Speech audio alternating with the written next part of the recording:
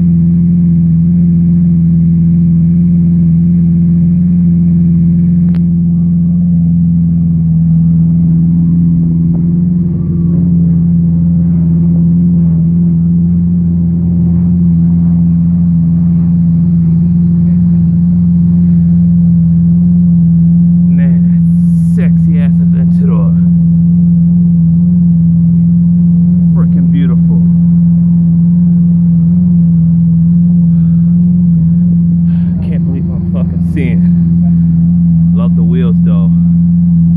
Whew.